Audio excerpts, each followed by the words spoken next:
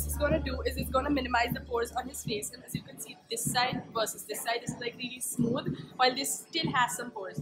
So you, you're going to see really quickly how that's going to change. It's become like really smooth. That's what we want.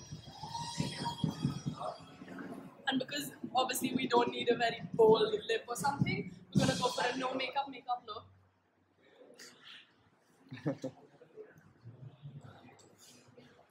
I'll send it to you. You can see it already. I'm now going to use the foundation, and it's this one, Dream Satin Silk, in the shade I think B3, with my stippling brush and very little quantity.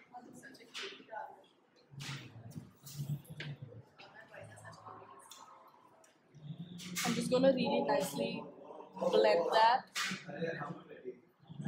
Look up.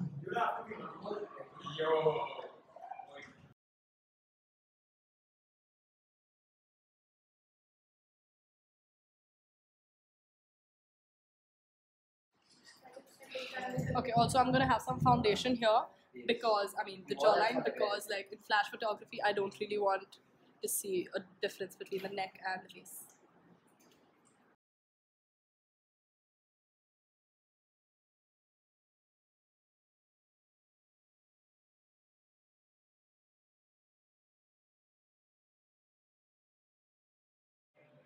I'm gonna use the shade uh, V21 from the Kryolan palette for the contouring. I'm not gonna go really, really extra with the contour. I'm just gonna add a little warmth onto the face. Okay, I'm taking this oval brush, I'll just blend it.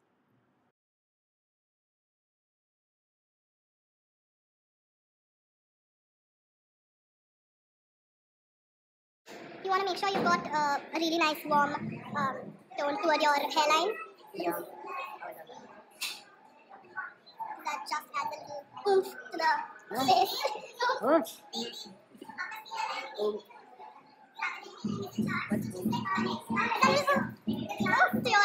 makeup. Okay. So you can see there's this little um, warmth to his face toward the, I mean, on the outward section. And I'm sort of gonna build that jawline, which we pretty much have. Some to the nose. And I think he's good to go. So that's